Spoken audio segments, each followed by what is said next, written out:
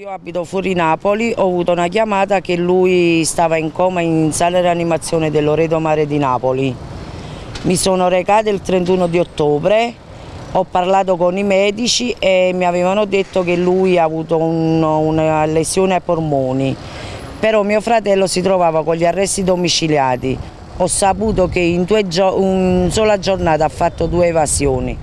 L'hanno portato il giorno dopo, il 22 ottobre al tribunale, c'era il suo avvocato d'ufficio che lo stava aspettando e lui è arrivato ma ridotto. L'avvocato l'ha chiesto Luigi cosa ti hanno fatto e lui ha detto avvocato ora non posso parlare.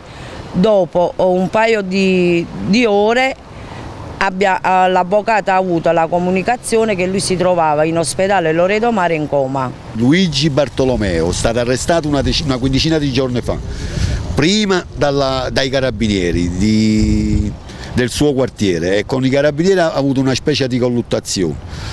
Poi il giudice ha disposto di nuovo gli arresti domiciliari, però ha evaso un'altra volta gli arresti domiciliari.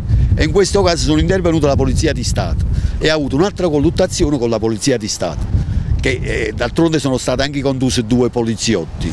Comunque il giudice ha disposto il processo per direttissima, è stato condannato un anno e quattro mesi e l'hanno trasferito nel carcere di Poggioreale.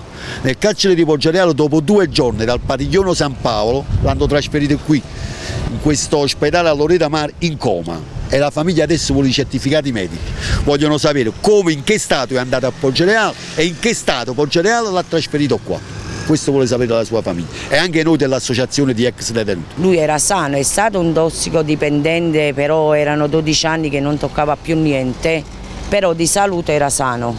Ho provato di entrare all'ospedale il, il primo di novembre io so, mi sono buttato nella sala di rianimazione, è venuto l'ispettore di Poggioreale e mi ha buttato fuori. I medici mi dicono che, no, i medici purtroppo mi dicono soltanto signora sta in fin di vita, cioè sta fra la vita e la morte, più quello che ci possiamo fare e non possiamo fare.